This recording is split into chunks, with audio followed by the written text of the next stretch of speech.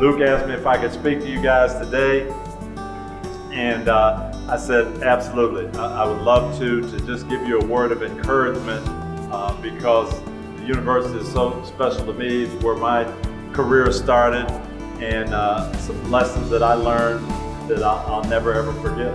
Uh, you get into a college environment, and you choose how you're going to live. You choose what's important to you, who you're going to hang around with, what you're going to do.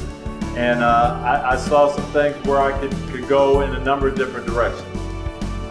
And I could hang with the wrong crowd or I could hang with the right crowd. I could do some things that my parents wouldn't be proud of, that I wouldn't be proud of if it came out.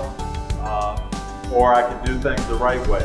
And that was probably the biggest part of, of my college career was learning how to make those decisions and be accountable for them and step up and be a man. The best advice that I got uh, my first day on campus was from a guy named Jim Brewer. He was an All-American basketball player. He had just come back from the Olympics. He was going to the Cleveland Cavaliers, second player picked in the draft. And he told me, welcome me to the university, he said that if you only become better in your sport, you're cheating yourself. To make sure go to class, make sure you get your degree. If you don't leave with a degree, you're cheating yourself. You know, people ask you all the time, what, what's the key to being great? What's the key to making it in the NFL?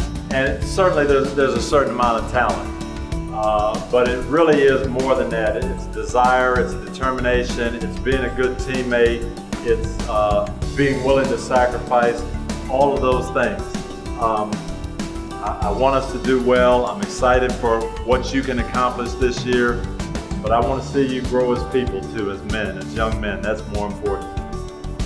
Tony, we appreciate your time. Thank Give it up for Tony.